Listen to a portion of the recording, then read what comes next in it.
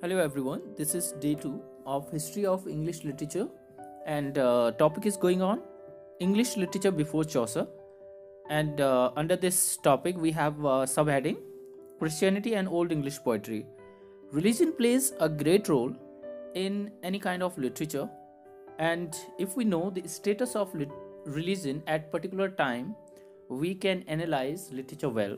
So let's talk about this topic and hope uh, you will get good idea about english literature at at that time before chaucer as uh, in earlier video i told you that anglo-saxon uh, literature was pagan pagan means which is not related to any particular religion but we cannot call it irreligious poetry also or uh, literature pagan means होता है कि जो कि किसी particular religion से related नहीं होता है it represents the poetry which the Anglo-Saxon probably brought with them in the form of oral sagas. And remember this, this is a very clear idea that when uh, any literature is started in any country, whether it is it was Hindi literature or uh, English literature, all were started with oral tradition. Okay, and uh, society, the the role of society and what people do that time had great influence on literature always. Like uh, let's compare victorian victorian poetry or uh, literature. That time science okay it was advent of uh, science or great experiments were going on. So that time people were using that. And uh, if we talk about modern poetry so in modern age there were wars again Wo- world war first and second. So we have uh, some war poets also okay particularly. So this society plays a great role or uh, society provides the content to the writer or poet to compose poems or uh, to write down something all right so the early poetry was full of sea and wars. These are uh, you know characteristics of that time of poetry or uh, any writing. And let's come to this remark now the old poetry penetrated the new, but spirit of the new transformed that of the old. The old poetry penetrated the new, the spirit of the new transformed that of the old. Now we will be talking about some important poets of that uh, that era.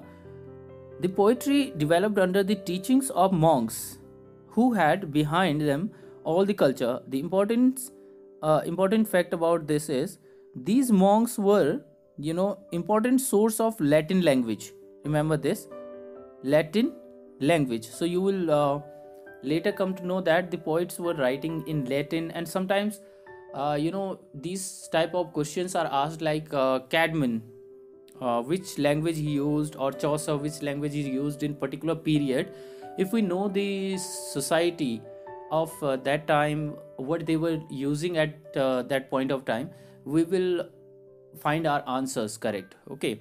So remember this that time uh, monks were important and uh, poetry were developed by their teachings and they were source of latin language.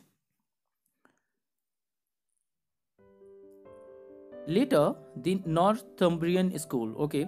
Uh, northumbria. Northumbria became the seat of so this is again important became the seat of the monks who influenced the Anglo-Saxon literature. It is called the Northumbrian school. Okay, so Caedmon, and if, when we are uh, talking about school in English uh, language or in English literature, particularly, school means group of people. Okay, group of writers and others. Caedmon and Cynewulf are the two distinguished poets of this school. So Caedmon and uh, Cynewulf belong to the school named the Northumbrian School. So Caedmon, let's talk about Caedmon now. He is the first maker of English words. So the, here is the answer of a question that who is the maker of English words? Caedmon. He is the first maker.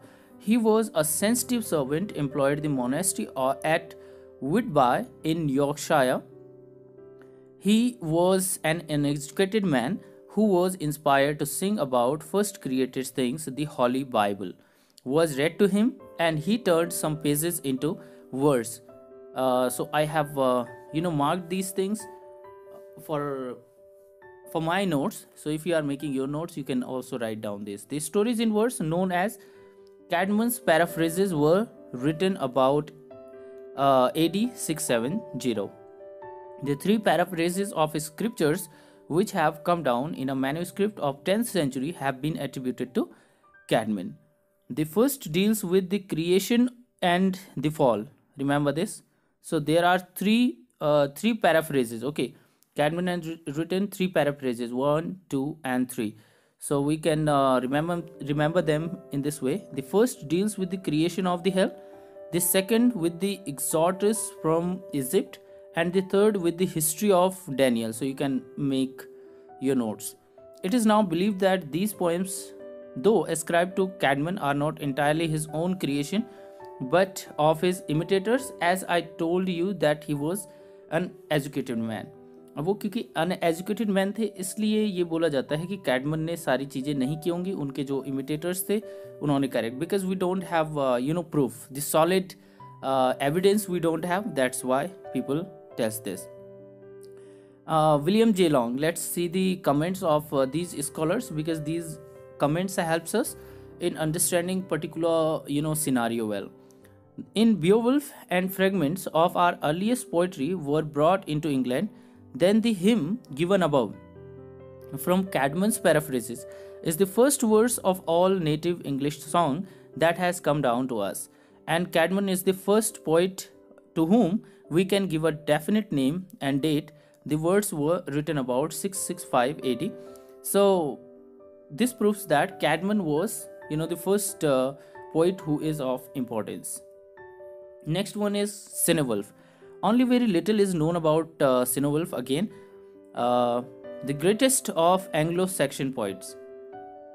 He signed poems include the Christ, Juliana, the Fates of Apostle and Elene.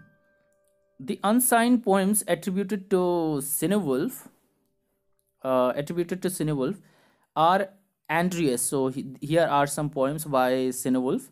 The Phoenix, The Dream of the Rood, This Descent into Hell, Guthlac, The Wanderer, and some of the riddles. The Dream of the Rood is undoubtedly the finest of all English religious poem. So the important work by Cynewulf was The Dream of the Rood. Now the third one is Judith, the poetess Judith. It is one of the finest piece of Anglo-Saxon religious poetry. Okay, this is a piece of work, all right. Or out of 12 books, only the last three are extant. The character of Judith, a Jewish Valinda, is well drawn. So this is not poet, sorry. Uh, this is the name of a work. The Harrowing Hell, The Whale and Panther, and some lyrical translation of the Psalms in the Kentish and West Saxon dialects were also written in the 18th century.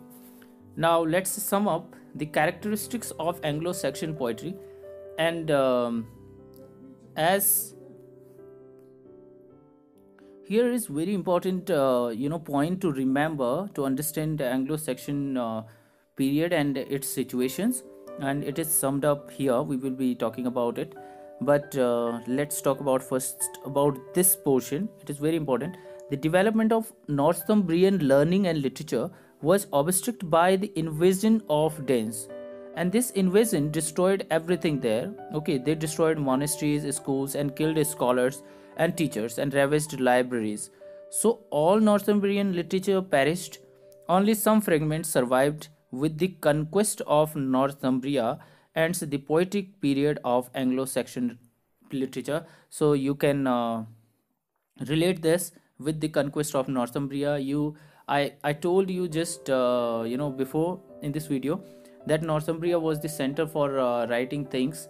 Okay, and the school of Northumbria was uh, constructed there, means you know formed there.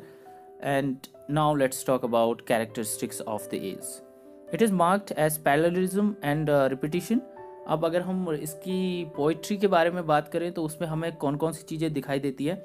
Parallelism and we see repetition in phrases there it abounds in the ordinary metaphorical phrases of the Teutonic poetry as the whale's route for the sea for example early poetry is conspicuous by the absence of the elaborate similes but later poets like Cynewulf invent them nicely. Okay, that's why Cynewulf is one of the most uh, important poet. It is full of fondness to see and spirit of uh, adventure. यहाँ पे हम देख सकते हैं कि ये सारी चीज़ें समड अप हैं जितना भी हमने अभी तक पढ़ा है in form of radically different from the present mode of वर्सिफिकेशन in place of modern end rhyme it employs beginning rhyme okay they didn't use end rhyme they used beginning rhyme they used alliteration that is the reg- regular and the emphatic repetition of the same letter. It has we know that what alliteration is. Uh, it has a great variety of compound words especially adjectives. The poet could express precisely a number of uh, qualities belonging to subjects through compound words. The poetry, especially of uh, his time, is concise and direct. The poetry dealing with war and sea voicing is diffuse and varies by constant repetition. The Anglo Saxon poetry is remarkable for width of range. The heroic poetry persists throughout the period. Judith is heroic saga. So the work we just saw here, it was a heroic heroic saga. Okay and uh, the Exodus is a heroic narrative. So these are the works works of that time freely invested on the biblical stories. Cynewulf poem on the life of Saint Goliath and on the martyrdom of Saint Juliana are narrative. So I hope you are preparing your notes well. Okay, and uh, this is all for the day, and we will be talking about more uh, about literature, and we will finish this book soon so i hope you liked it and uh, you will share the video with your friends it helps a lot. Bye bye take care. See you in next video